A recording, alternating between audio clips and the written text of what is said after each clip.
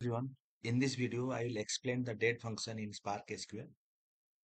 I have created the table colleges uh, from the file which is already present in Databricks.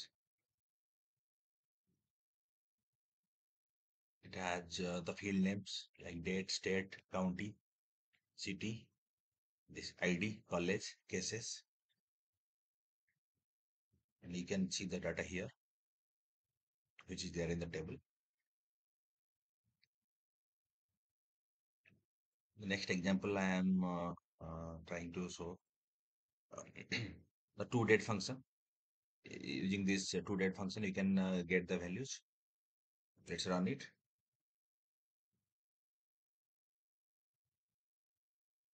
Yeah, so what I'm doing here, I'm uh, trying to filter out the records uh, based on a particular date. So I'm converting to date under then date and then providing the value. So in this way, one can use this to date, to date function. Let's go to the next one. Yes. In this case also, I am uh, using that uh, to date function, but uh, I am creating the date using make underscore date function. Then I am providing the year, month and date. So manually we can provide the date values here in this way.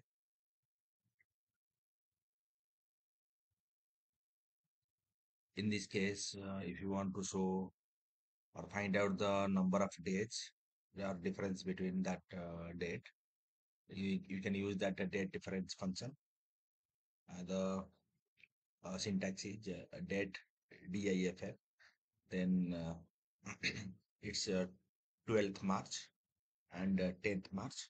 And if you run it, you will see the date difference is two days. The number of dates. Next is uh, to get the year, year part from from the date. You can see uh, the date is uh, 26th February 2021 and uh, we extracted the year part only. So the year uh, came around 2021. Similarly, you can get the year, month and day part from the date using alternate method uh, you can use the extract year from date then extract month from date extract day from date. In this way also you can uh, get the year part month part and date part from the date field. You can see here. So 26th february 2021 so year is 2021 month is uh, here 02 so it uh, came to and the day is 26.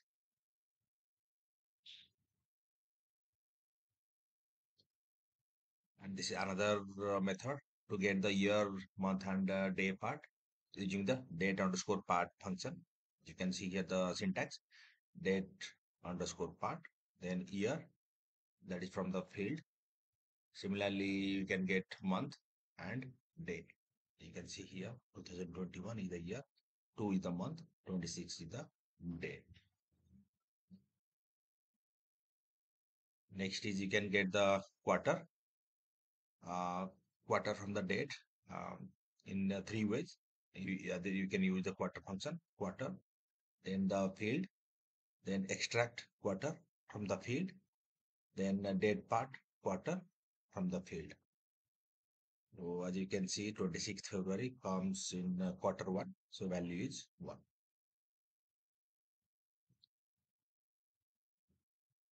Next, uh, you can get uh, the day of year and day of month using this uh, function.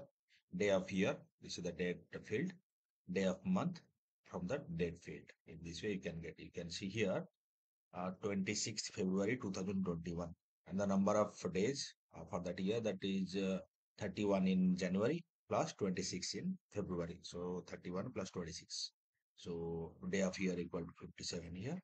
And uh, for uh, it is 26th day in February. So day of month came 26.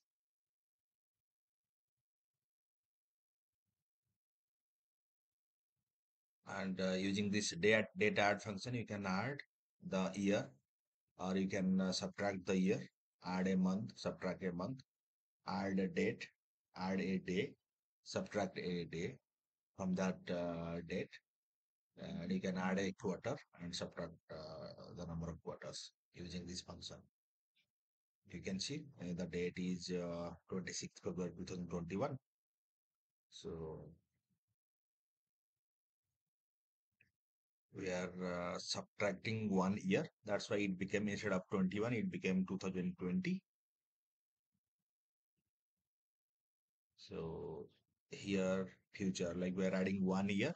So it became 2022. We are uh, subtracting one year, became 2020. Similarly, you can add a month. This is February, 26th February. So it became 26th March minus one month is 26th January. So like that, you can get or you can add uh, year, month, day, quarter using this function.